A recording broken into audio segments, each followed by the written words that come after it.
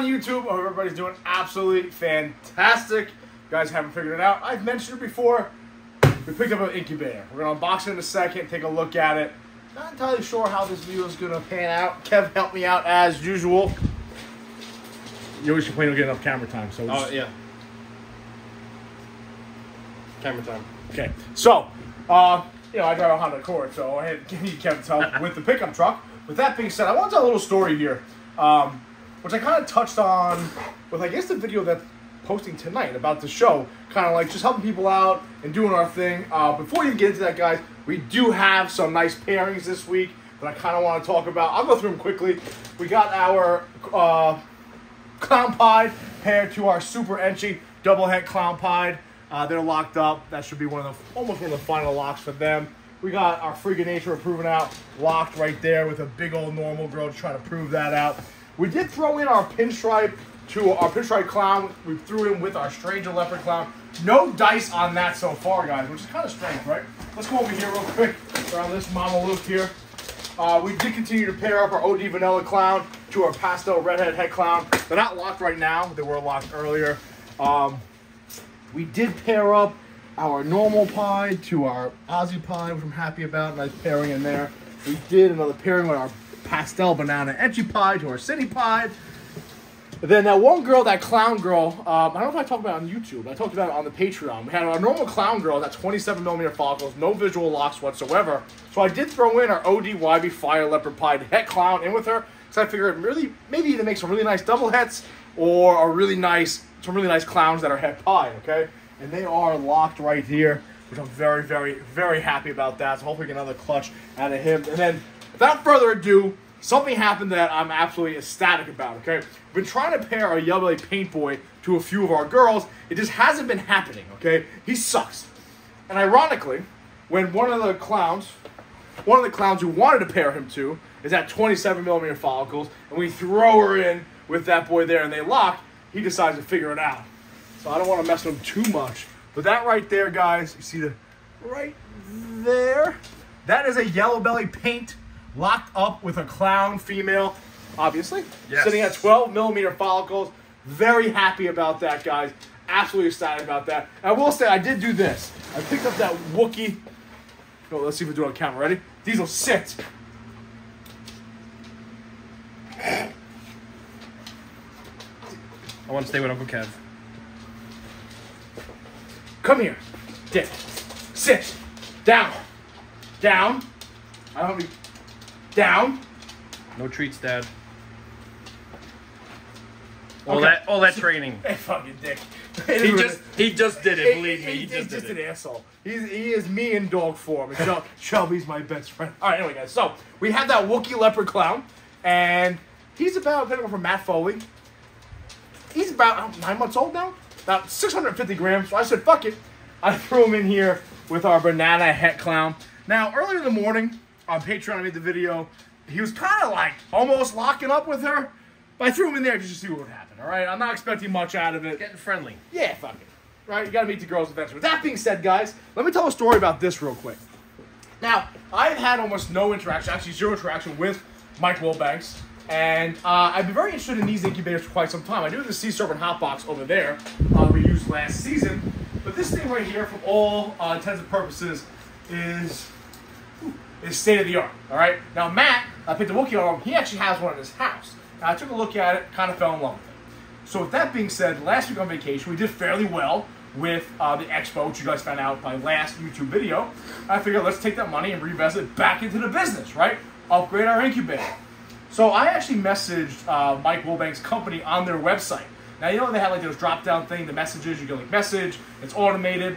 So I met a message. I had a couple questions about the incubator, etc., etc. Uh, and he don't me wrong, he hooked me up. But um, someone messaged me back, and at first I was like, all right, it's automated, and it wasn't automated. I gave him my phone number, say, hey, listen, I have a couple questions, somebody give me a call. Within about 40 seconds, my phone was ringing. Uh, the caller ID said Mike Wilbanks. Now in my head, I'm like, this is just an employee, all right? Um, so, hey, what's going on, Devin? You know, this is Mike Wilbanks, and my, you guys know how I am. I was like, okay. I was like, Mike Wilbanks? They're like, yeah, this is Wilbanks. right. So a guy that owns like, let's be honest, a multi-million dollar operation for him to answer his own messages the day or two days before Tinley, because I know he was there, right?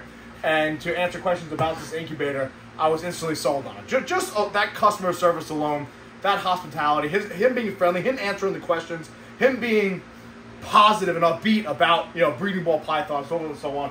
So I did order this one. Now this one is uh, the 450 model, I believe they call it. It's like it's like I think it's the Wilbanks shit WH 450, I believe. It holds up to 35 tubs. All right. Um, there is one slightly bigger than this, actually much bigger than this. Holds 64 tubs, but my understanding is the size of a, like, size of that door essentially. All right. Um, people say they can't fit it indoors, so I was like, I'm not fucking doing that. So without further ado, I did pick this thing up. I do have uh, our shitty knife here. Gotta sharpen it. was commandeered. So let's cut this open as best as we can. Uh, let's make a nice mess so Diesel can eat them and shit them out It cost me more money at the vet. Start. See, almost just cut. Get out of the way, stupid. Yeah. Hold the gun, not the knife. No, don't touch my gun eating. Fuck. I, know, I think it's one of the only videos I ever done with my gun actually on my I know. I was gonna point to it and go, look, Stop. it's over there. Yeah, but then then YouTube will shut me down because you know. God forbid you. Patreon, vid- Patreon video only. What? Patreon Patreon video. only? Is the Patreon only video. I like making the Patreon videos better. I'm not gonna lie. Oh yeah. I just run amok in myself. Look, this Paul, I love you. This thing's who's Paul? This thing's packaged pretty well, man. Yeah, pretty lie. good, pretty good. I was a little concerned about that too. Diesel, please don't that. What's gonna happen is That's Chris, Christmas, Christmas morning here. fucking great. Oh, I was gonna try to be gentle. but Let's just let this thing fly. Oh, fuck it. That was a good shot. Not bad, right? Almost in the, almost in the garbage. This thing is fucking huge, man. That's big. This is much bigger than I thought it was gonna be. Nice. Ugh. Where's the front? Keep going. There's no front. Ah. it's on the other side. All right, let's spin this bitch. This thing's huge, man. I want to open it up. Yep. You know what? We'll unbox it. Oh, I'll get this thing fired up, and then we'll really talk about it. Let's take a look at this thing. Humidity in here. Ah.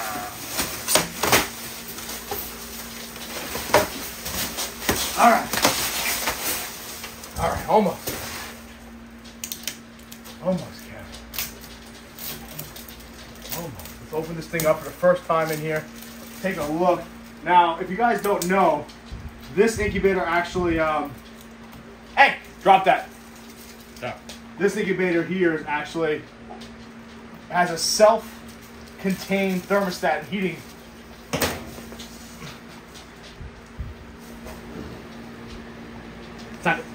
Has a self-sustained thermostat heating um, apparatus in here as well as a cooler. It has a lot of shelves. Let's open up. real. I'm really excited. I'm dressed this way. Yeah, it's fucking hot. It is. Oh, shit. I'll tell you right now, right off the Batman. that like door is like a refrigerator door. It is. It is. It, it, it is not, you know, without the respect, Sea Serpent, not even close. Insulation. Look at this thing, man. Holy shit.